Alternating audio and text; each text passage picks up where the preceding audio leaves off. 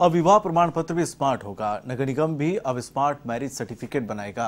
ये कलरफुल होने के साथ ही स्मार्ट कार्ड के जैसा होगा, जो लोगों को ऑनलाइन ही घर बैठे मिल सकेगा। हालाँकि इसके लिए आवेदक को सौ रुपए का शुल्क चुकाना पड़ेगा। नगर निगम ने इसके लिए कार्यकारिणी कमेटी की बैठक में प्रस्ताव पारित किया है। सोमवार को निगम मुख्यालय में आयोजित कार्यकारिणी की बैठक में कई महत्वपूर्ण प्रस्ताव पारित किए गए।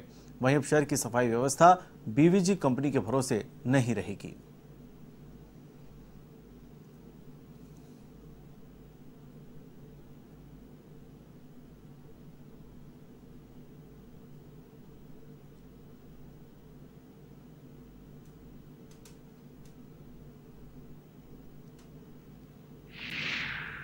नए केंद्र में अभी तक नगर निगम के द्वारा शादी की बुकिंग की जाती थी।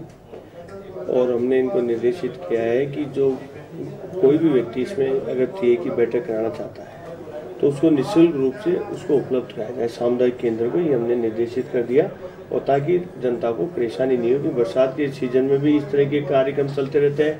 और भी कई लोगों को परेशानी का सामना करना पड़ता है, ताकि जब कई बार खुला मौसम होता है तो गार्डन में बैठे हो जाती है, परंतु बरसात के मौसम में या सर्दी में या इसमें बहुत समस्या का सामना करना पड़ता है।